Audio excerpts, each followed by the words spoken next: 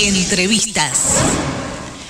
Y ya estamos comunicados con el director de Resumen Latinoamericano, el periodista, escritor y también tiene un programa aquí los sábados de 7 a 9 de la mañana. Estamos hablando de Carlos Aznares, eh, Olivia Rebursén, Mario Monzón, los saludamos. Muy buenas tardes, ¿cómo le va?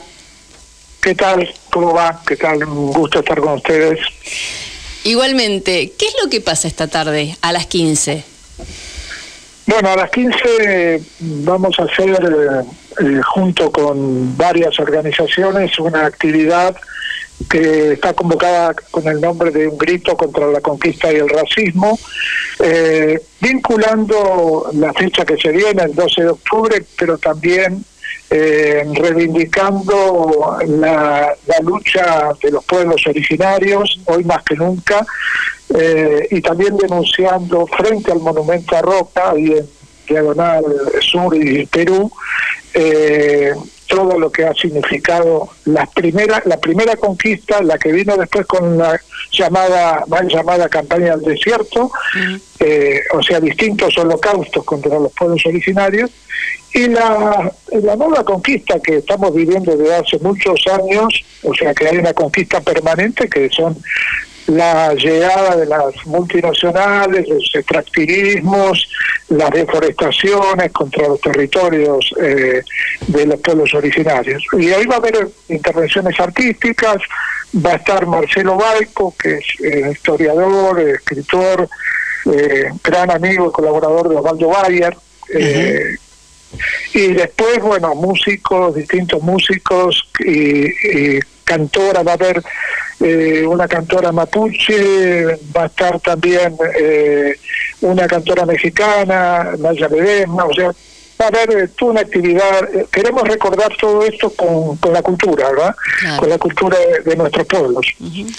Carlos, buenos días, Olivier, te saluda. Este, ¿Qué tal? Sin lugar a dudas, este acto es un acto anticolonialista y aprovechando tu función particular de escritor, periodista y sobre todo analista internacional, especializado en las cuestiones latinoamericanas.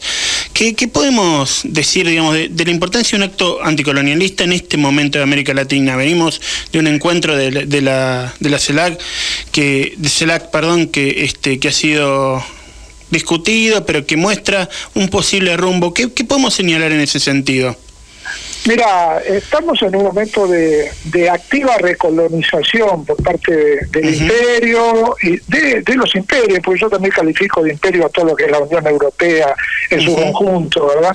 Eh, y eso se siente en los territorios de América Latina, o de nuestra América, o de Ariayala. Eh, fundamentalmente eh, por, lo, por, lo, que pasa siempre. La lucha por la tierra y la ofensiva de eh, los poderosos, de las multinacionales, eh, para apoderarse de esas tierras con la complicidad eh, muchas veces de eh, los poderes fácticos de cada país y sobre todo de algunos gobiernos que ceden frente a esos embates.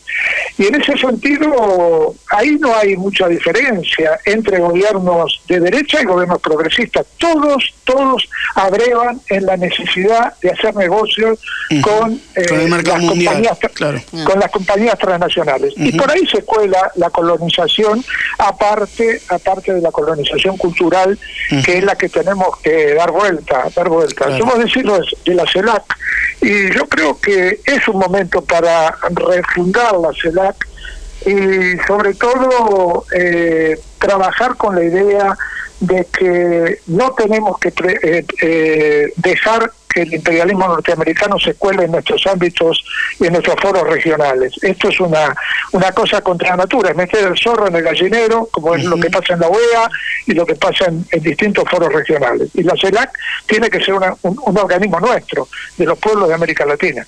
Totalmente. ¿Y cómo se logra este, este cambio? Eh Carlos, para, para, para, digamos, estaba hablando de los gobiernos progresistas, los gobiernos de derecha, que los que les interesa es el negocio y tenemos que hacer el cambio cultural. Eh, este acto que tenemos hoy es, es, es, parte, ¿no? Bueno, estamos en octubre, en este, en este, mes que es tan importante para, para muchos.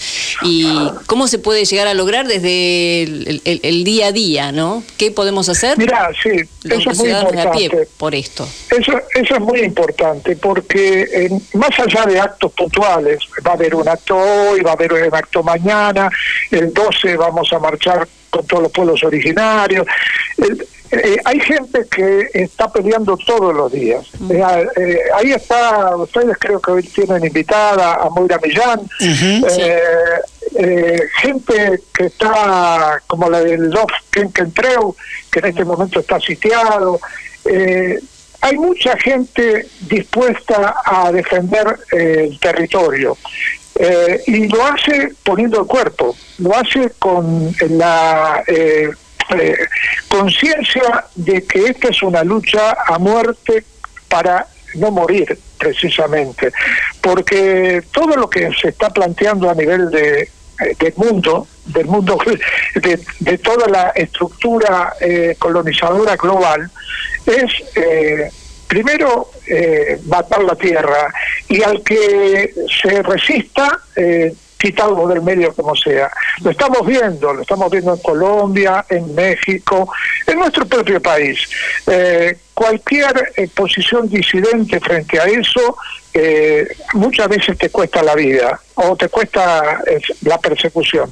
Moira Millán lo sabe, lo sabe muy bien porque lo ha sufrido y no es el único caso, hay un montón de compañeras y compañeros que están peleando todos los días. Y aquí en nuestros barrios, en nuestros barrios del conurbano, todos los días eh, hay una pelea para eh, defender ese pedacito de tierra que ha sido ganado muchas veces con muchísimo sacrificio.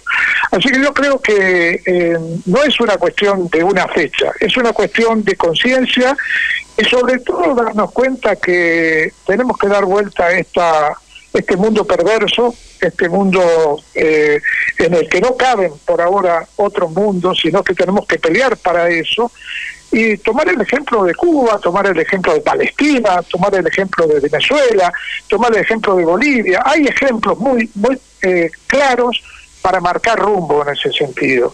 Eh, y no dejarse eh, eh, empujar ni avasallar, o sea, tener eh, esa idea como la que tuvo, qué sé yo, Santiago Maldonado, Rafael Nahuel, compañeros que dieron todo sacrificándose por, por los demás. O sea, un poco lo que dicen las madres, ¿verdad? La patria es el otro, bueno, eso, eso ayuda mucho en esta batalla. Parece difícil, y es difícil, pero creo que muchas generaciones peleando han demostrado que, que hay posibilidades todavía de revertir esta perversidad. ¿no? Totalmente. Carlos Aznares, periodista, escritor, director de Resumen Latinoamericano y compañero de esta radio, Radio Rebelde, muchísimas gracias por tus palabras. Eh, a la distancia estaremos participando de esta actividad o cuando terminemos el programa vamos a tratar de hacernos llegar hasta ahí seguramente. Este, te mandamos un abrazo y seguramente seguiremos en contacto para hablar de estas cuestiones latinoamericanas que hacen a la, a la cuestión de los derechos humanos. Gracias a ustedes, compañeros y compañeras. Un abrazo. Un gusto. Hoy a las 15 entonces en Diagonal y Perú, Diagonal Sur y Perú.